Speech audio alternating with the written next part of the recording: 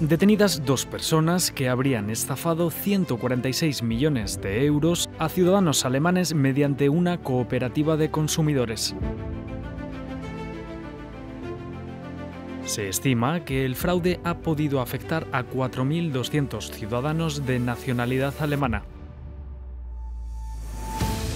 Se han llevado a cabo seis registros en Capdevera, Baleares, 19 en Alemania y uno en Polonia.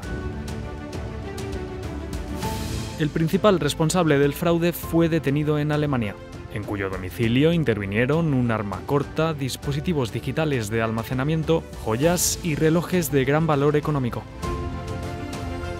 La operación se inició en virtud de una orden europea de investigación por los supuestos delitos de malversación, fraude en inversiones y blanqueo de capitales sobre una cooperativa de consumidores donde ofrecía a sus miembros un tipo de interés lucrativo por las acciones adquiridas.